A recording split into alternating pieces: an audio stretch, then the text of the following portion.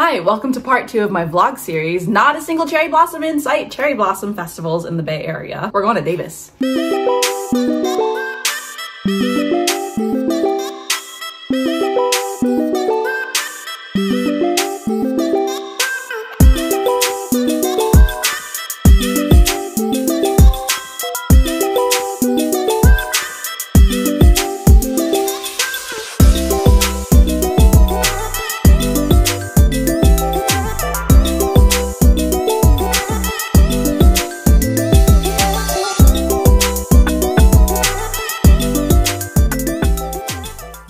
Hi, my name is Kelsie Kishimoto. I'm an independent artist based in the Bay Area of California, and it's April, which means there is an abundance of cherry blossom festivals happening around here, and I made it my personal mission to join as many as I possibly could. In part one of this vlog series, you saw me selling in Elk Grove or Sacramento if you're not familiar with the area, and in part two, we're headed to Davis, which is fabulous because I am based in Vacaville, and this is possibly the shortest commute I've ever done for an event besides VacaCon. Like it's only 20 minutes, and we love a short commute. What we don't love, however, is poor weather, especially for an outdoor event. And we've got the worst of it for this vlog. Yay!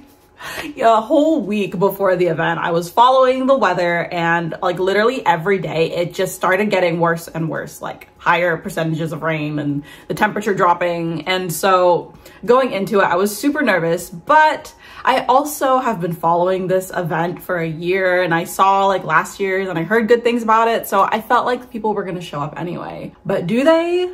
Or do they not? Is this event worth it? Do I freeze my butt off? I don't know. Find out in today's episode. Mm, Pokemon, the journey continues. Let's go. Good morning. Um, first off, I got bangs. They're messy right now, but I promise they're cute. Uh, we're here. We're at Davis. We are under an overpass, which is actually really nice because as you might have seen, it's raining right now. And here's our spot. Ta-da! Don't have to do a canopy setup, which is great. Um, obviously, weather might be a bit of a factor, but I like to think people will show up anyway, and maybe the light, the rain will lighten up. But we're gonna get set up, and hopefully that'll warm me up.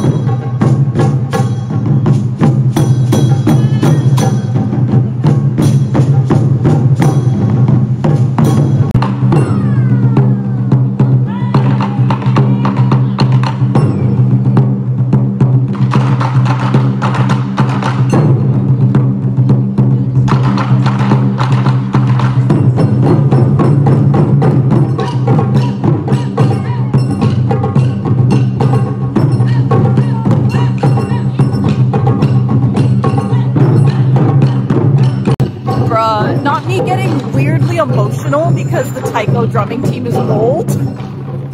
They're so good. you still have fun even when you get older.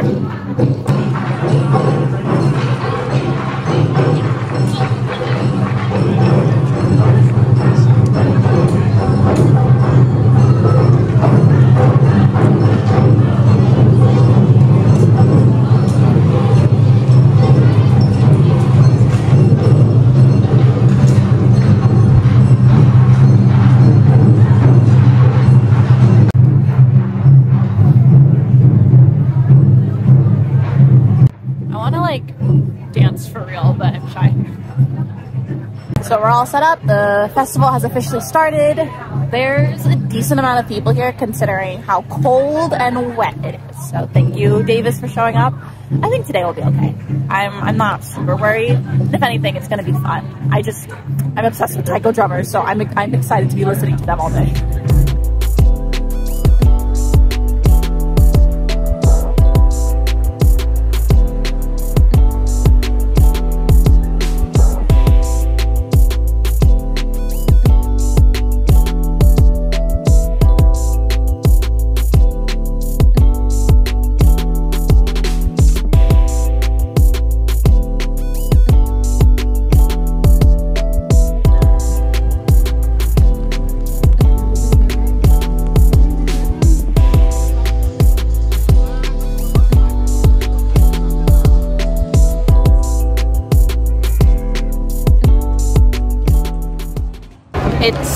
11.51 and we have covered booth with one purchase again. I love these cheap booths. They make, they make it so easy to cover it. Latest business expense is our Square terminal. Finally got one. Bought it off of um, Cinder Cake at a discount and it's still like pretty brand new. So this was a really good investment, I think. I'm excited to use it. Give us an update. It's cold. It's good.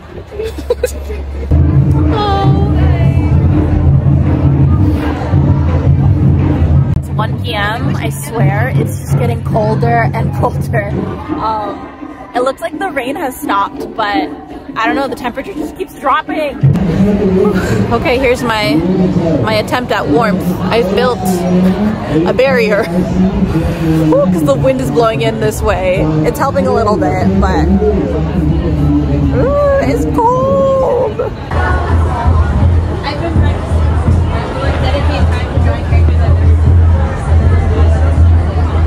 It's warmer down here. It's two o'clock. We are not even halfway through the event. We're here till eight tonight. And I am currently, if you cannot tell, I am under the table. I have discovered this is a great place for taking naps, but also when it's freaking cold and windy, this makes for a nice refuge too. Man, if I just had like a blanket and pillows, oh, this would be great.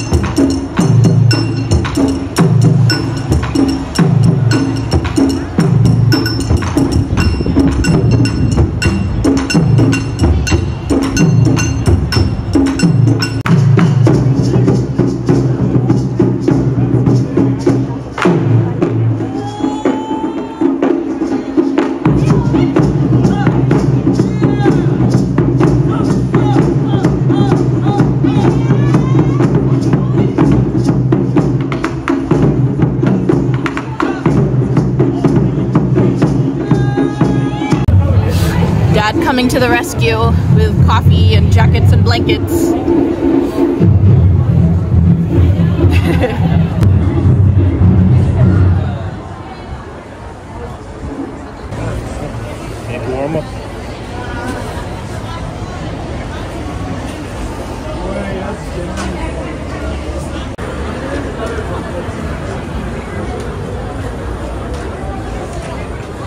No pressure. Just be beautiful. I mean, I'm like so fluffy right now. We're all so attractive right now in all oh our 20 million layers. No, you're good. Don't worry.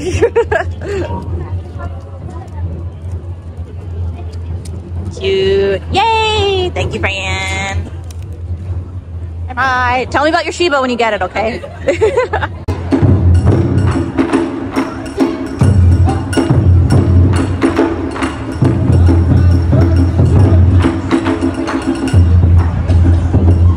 don't know where it's been. this is a cute claw machine. Where'd you get it? eBay. Ah, I've built, I've never seen one that's Sumikko themed. Uh, I don't know what I'm doing. Come on. Well. Oh, it worked. yeah, yeah. I didn't think I'd actually get anything. Yay! I caught them. Okay, uh, which one do you want to pick? um, let's do this one. This one, okay. You can open it. Okay. I get the brown chicken. Brown chicken! He's so cute. Yay!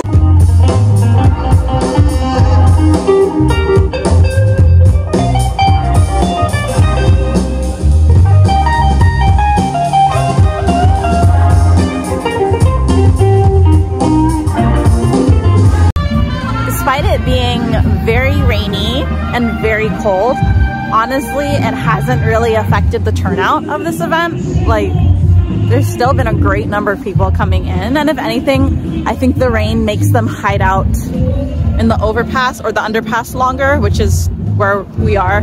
so this is a great event, even despite the weather. I think the only thing it affects is how long people stick around. I've talked to a lot of people who do what they need to do and then they dip, which makes sense. But still good for business. Just not if not if you're these ice cream people and you know, Kona shave ice over there. Rough day for them.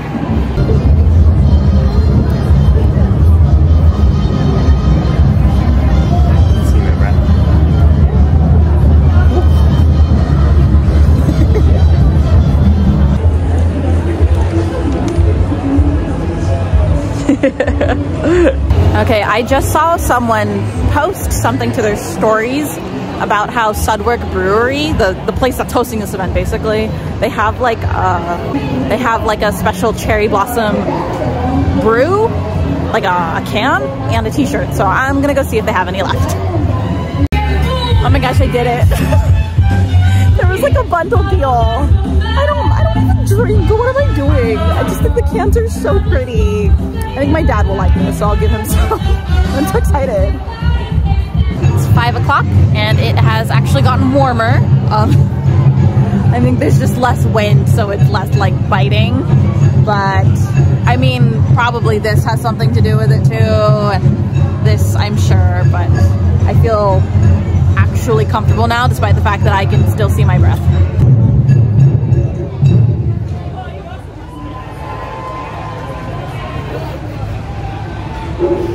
One of my favorite things about this event has been all the performers. Um, here in under the overpass, I've gotten to listen to a lot of the taiko drummers, which like is my personal favorite. But there's also a tent with like live bands, and they've been pretty great too. Like this event has just been stacked with live performances, which is really cool.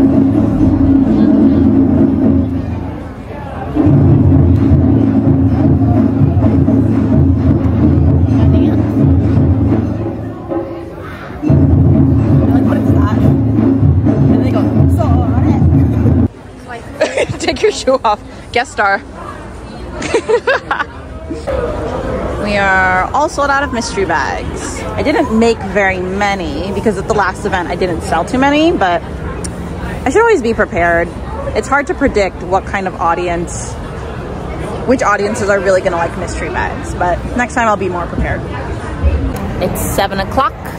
Ironically, it's warmer than it was in the afternoon, once again. Um, we are officially past carrier con numbers and we're more like in um, Lodi Comic Con numbers. So this has been a really great show. Uh, one more hour left and I think we could pass the mark that I'm hoping to. Just need like 30 more dollars for me to cross that next line. Thank you, Davis.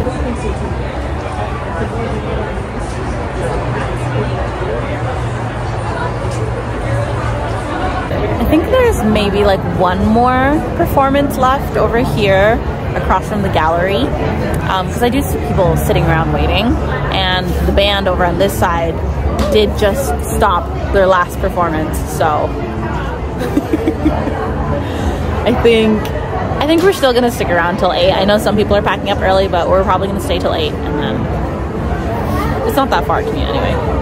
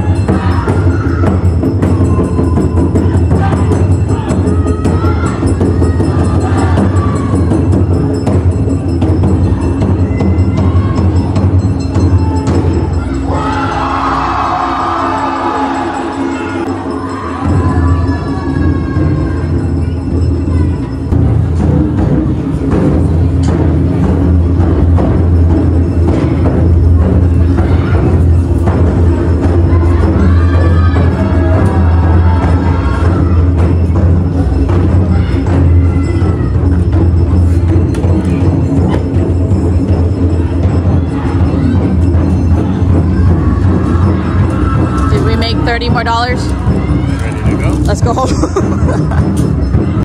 That's it. That's the end of Davis Cherry Blossom Festival for us. It's still going on tomorrow, but tomorrow will be a whole batch of new artists. So, thank you, Davis.